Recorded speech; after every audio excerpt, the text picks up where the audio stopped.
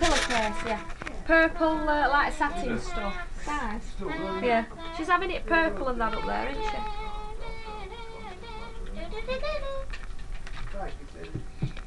You want that pinball set? Oh, that's for Christmas. It's not even Christmas yet. I want it to be Christmas, but it's boring November. So the answer is now to this. No, the solution. November. Yeah. It's never You need some little pieces of wood. Christmas gets Well, you buy a bag from Spar, Stephen whatever, Maxwell Christmas. little pieces, Christmas is and then just put a few pieces in, they- oh, get it going. A few more bits of wood, and then Mr. just put it Mac will all probably cancel shut that door. Christmas, probably there. And then when it gets going, there all year now. cork it a bit, let some air in it, and when it goes, It's gonna be there I think the Once clock in the car is wrong. you keep putting coal on it. Either,